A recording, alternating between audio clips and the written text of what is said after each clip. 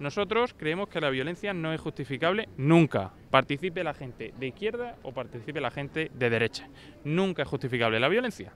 Y también decimos que el Ayuntamiento de Lorca no ha dialogado con los ganaderos para poner en marcha una norma que cierra las explotaciones agrícolas que Lorca, por si eh, la gente de Podemos y del Partido Socialista no lo sabe, es un municipio que vive de una forma importante de la ganadería. Ya uno de los señores que apareció en las imágenes ha pedido perdón. Yo creo que hay que volver al diálogo, creo que hay que volver a la sensa del consenso y lo que no hay que utilizar es un hecho desafortunado para tapar la incompetencia del Partido Socialista y de Podemos y para, para tapar los ataques que ha hecho Garzón en un medio internacional contra el modus vivendi de miles de personas y de miles de ganaderos.